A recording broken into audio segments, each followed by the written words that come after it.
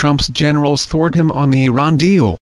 It's no secret that President Trump is desperate to withdraw the United States from the Iran deal. Trump blatantly resents the agreement, the crowning foreign policy achievement of the Obama administration, and lambasts it whenever he can. That included his speech last month at the UN General Assembly, during which he called the deal an embarrassment and hinted to reporters that he was ready to scrap it. Now the White House faces its latest deadline October 15 to certify to Congress that Iran is in compliance with the terms of the deal. Trump has grudgingly given that approval two times this year, but has loudly signaled that he won't keep doing so. Speculation over the deal's demise has given a wing to a flurry of op-eds from neoconservative hawks and Iran hawks in Washington, cheering on possible decertification. But there's a crucial constituency that may not be on the same page as Trump, his generals. On Tuesday, Defense Secretary Jim Mattis, a retired Marine general, appeared before the Senate Armed Services Committee and fielded questions on the administration's thinking regarding the Iran deal. During the hearing, Senator Angus King I-Maine asked Mattis, do you believe it's in our national security interest at the present time to remain in the JCPOA? The JCPOA, or Joint Comprehensive Plan of Action, is the formal term for the Iran deal.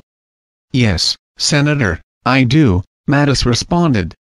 He also stated that if we can confirm that Iran is living by the agreement, if we can determine that this is in our best interest, then clearly we should stay with it I believe at this point in time, absent indications to the contrary, it is something that the president should consider staying with. Iran's press TV pointedly featured the comments on its social media accounts. Mattis, known for his antipathy toward Iran, is hardly the sort of official whom conservatives can deride as an appeasant nor was he the only Marine in the room to back the deal.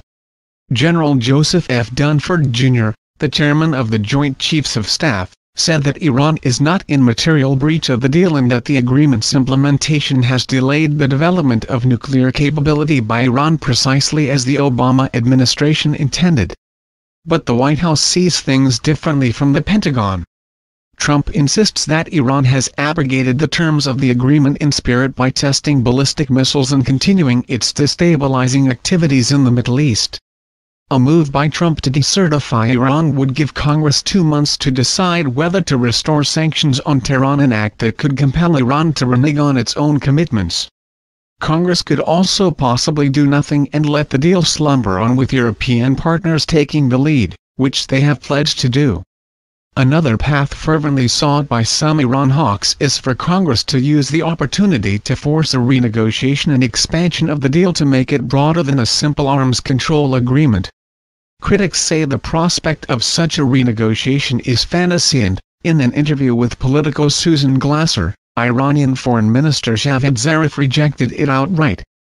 The belief that such an outcome is possible is deeply rooted in a fundamental critique of the Iran deal advanced by some Israeli officials, conservative think tanks, and Trump himself, the idea that Obama simply lacked the skill and political will to push for tougher terms when the JCPOA was struck in July 2015, wrote Colin Kahl, a former Obama administration official. There's just one problem, it's a myth. More pressure would not have produced a better outcome two years ago and threatening to blow up the deal will not produce a better one today. The United States will be seen as having violated a deal that was working, the Iranians will feel free to resume their nuclear activities, and the strong international coalition that forced Iran to the table in the first place with its global sanctions will be impossible to put back together, wrote Philip Gordon of the Council on Foreign Relations in The Washington Post. Gordon, who also served in the Obama administration, added, trying to suddenly conjure up a brand new deal that addresses every problematic aspect of Iran's foreign policy and blocks its path to a nuclear weapon is a recipe for achieving neither set of goals. Nevertheless, there's a real likelihood that Trump will punt the matter to Congress, passing the buck to an already divided and dysfunctional body. This could very easily take on a momentum of its own, warned Jon Finer, the chief of staff to one of the Iran deal's key architects former Secretary of State John F. Kerry. you could be in a situation where the administration won't certify compliance and Congress will say, well, the administration has spoken as to Iran's implementation of the deal, and this moves forward whether or not people have fully thought through the consequences.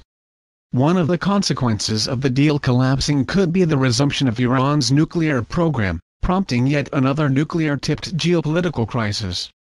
I know there are some Republicans who are so rabidly against the agreement they might vote to impose sanctions, said Senator Chris Murphy D-Conn. To Al Monitor, but I have to believe there are enough reasonable Republicans that they wouldn't put both North Korea and Iran on a pathway to nuclear weapons. Whatever the mood in Washington, a new poll from the Chicago Council on Global Affairs found that a clear majority of Americans say that the United States should stick to the deal. The country's top defense officials seem to share that view. But it's still doubtful that the commander-in-chief is listening.